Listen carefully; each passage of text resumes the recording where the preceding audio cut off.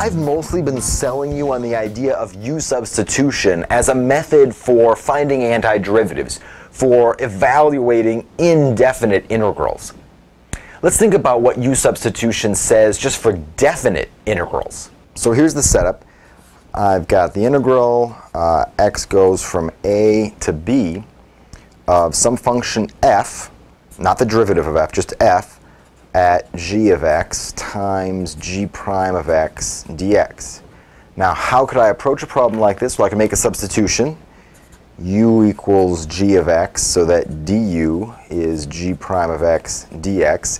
And in that case, this integration problem becomes the integral of f of u, u is g of x, times this is du but now I got to change the bounds of integration. When x is equal to a, u is g of a. And when x is equal to b, u is g of b. Assuming that those two integrals exist, to justify the equality of those two integrals, it's just the chain rule and the fundamental theorem of calculus.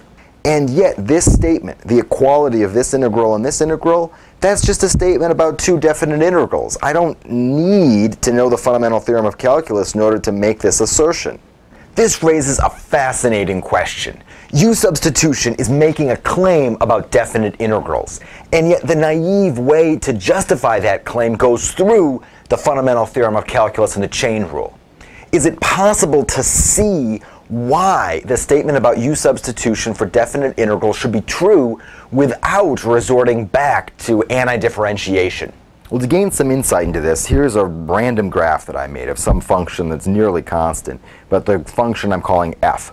And this uh, area in here is the integral from 1 to 10 of f of u du. Right? That's this area in here. Now I want to imagine what happens when I do the substitution. What happens when I replace u with x squared plus 1.